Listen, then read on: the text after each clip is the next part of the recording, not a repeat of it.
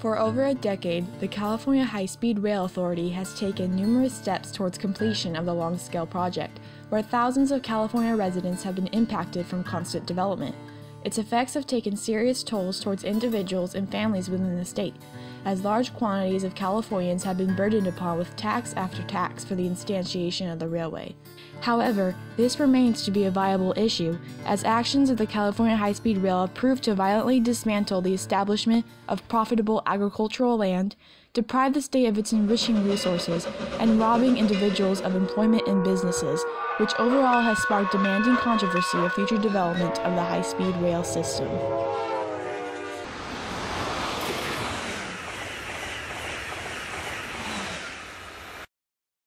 The California High Speed Rail has been actively creating employment for residents of the state, with particular emphasis in the construction factor.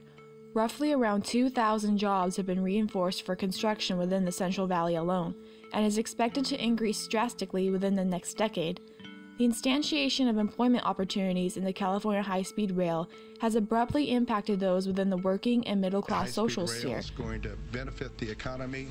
Uh, it's going to uh, address the needs in our future. It's going to focus on uh, bringing. We know the mid and long term is very promising for economic development in Fresno.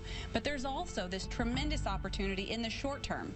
And that comes from the jobs that will be created as the project is. If you've been on unemployment insurance for a long time, that would qualify you.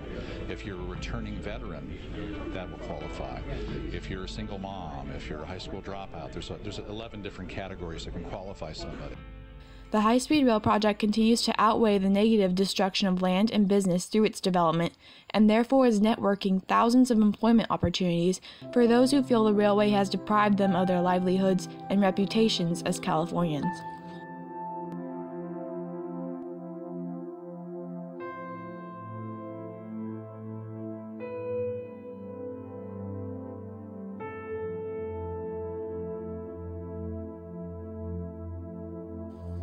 High Speed Rail Authority proposals have led members of the California Farm Bureau and the entire farming community to mass emotional upheaval, as the high speed system has been set to cause detrimental effects on farmland, stripping farmers away from viable land and damaging the landscape of the state.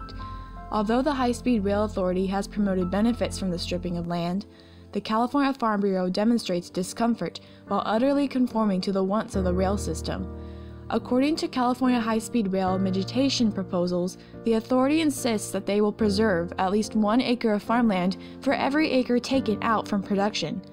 Despite the high speed rail covering up from actions, the California Farm Bureau emphasizes that they may not be able to recover from the loss of land.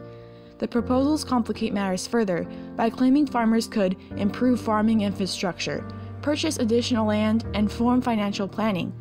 The Farm Bureau, however, denies the proposed statements to be productive, but rather costly, as previous land that has been stripped is less likely to thrive. Purchasing of additional land may put farm owners in extreme debt, as well as due to previous loss of land, agricultural profit, and future land development. Not what we voted for. They are targeting agricultural land arbitrarily, and uh, they're doing that because they think it's the path of least resistance. They're going, they plan to carve up and destroy miles of the most prime productive land in the valley for a project that may never be completed.